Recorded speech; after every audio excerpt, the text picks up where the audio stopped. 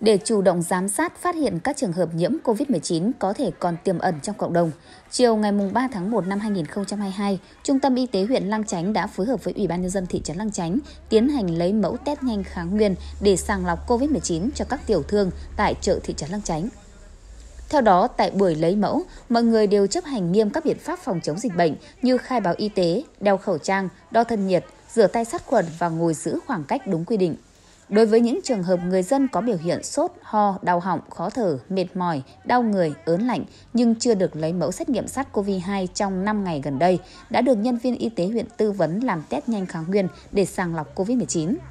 Được biết, để đảm bảo an toàn trong công tác lấy mẫu xét nghiệm, đội lấy mẫu xét nghiệm COVID-19 Trung tâm Y tế huyện đã lên kế hoạch lấy mẫu xét nghiệm cho các đối tượng ngay tại các nơi công cộng nhằm đảm bảo an toàn cho người dân, đồng thời không làm ảnh hưởng đến công tác kiểm dịch trên địa bàn. Đặc biệt, công tác xử lý khoanh vùng khống chế dịch bệnh được triển khai quyết liệt kịp thời để dịch bệnh tránh lây lan ra diện rộng.